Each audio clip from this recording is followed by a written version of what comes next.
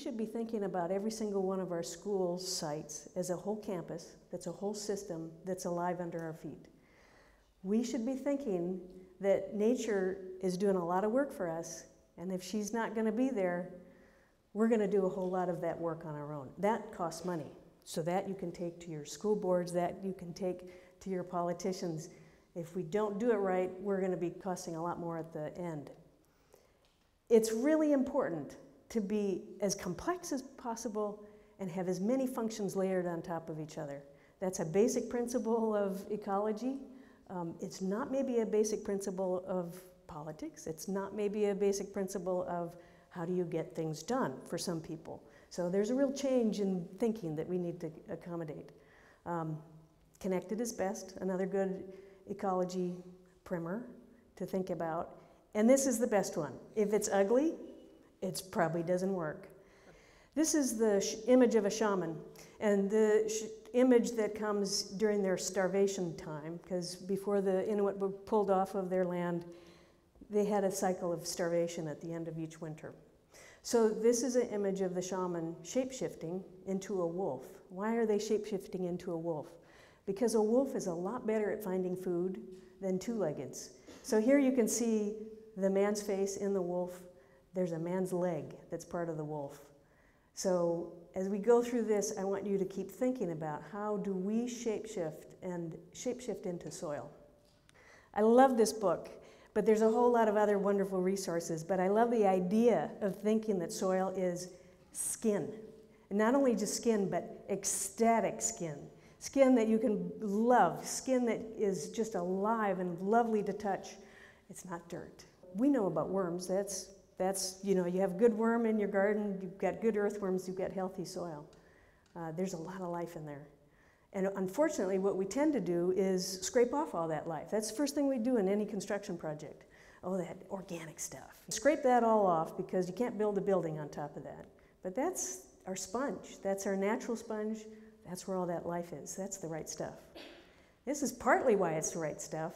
This is what happens in living soil, all those little networks of systems that are hanging on to the aggregate.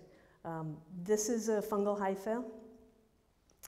And here's another, that's a great string, right? Connecting that piece of aggregate. That doesn't happen unless you have plants in the soil. Doesn't happen unless those plants are growing and the roots, and this is a good word, the roots have exudates that go out into the soil and are creating sugars and are making a complexity in that soil that brings life. And that life hangs things together. What's missing here is the sand, sand particles. There's nothing in there. You can see why it runs out is loose, is erodible, there's not a lot of life in that. And this is how strong some of those fungal hypha, those mushroom things, those little pieces that are growing in the soil, that's a whole little stone that's in that hand. Pretty tough stuff. So another start is how we think about trees. We typically think about tree roots going straight down, and they don't do that, especially for us in the Pacific Northwest, because the trees have evolved in a soil system that's very shallow. So the tree roots grow very shallow and extend way beyond the drip line. And when you impact that with that, with truck wheels that are carrying stuff, any car that drives on wet soil gonna, is going to compact that soil, lose all the life, all that wonderful hypha, all the wonderful aggregate exudates, all of that stuff is going to die. And a, and a fully loaded truck can kill the soil two feet down, and it's not going to come back. So let's think a little bit about that campus-wide system. This is just a quick case study on the Issaquah High School. Uh, we finished this a few years ago. And uh, here's the site plan. We started with having to accommodate the existing high school, and that's typically what we're having to do. Uh, we don't have, the school districts don't have a lot of extra land that they can swap out and, and uh, be able to move, move students to and back, so we have to accommodate everything on site. So in this situation, we had to build the building around the existing building. But we started with the idea that this is great soil, we're going to infiltrate as much as we can. So we did. Those are all rain gardens in the parking lot at Issaquah High School. Rain gardens, and then also permeable pavement and a green roof. So you take all that in percentage-wise, there's a ton of work that's being done in this system. Some of those are in between the buildings, and those become outdoor classrooms that the students can look directly out to. They can have access to it. It's something you walk by, it's a thing of beauty. These are some pictures of the construction. You can see those big, deep holes that we're building.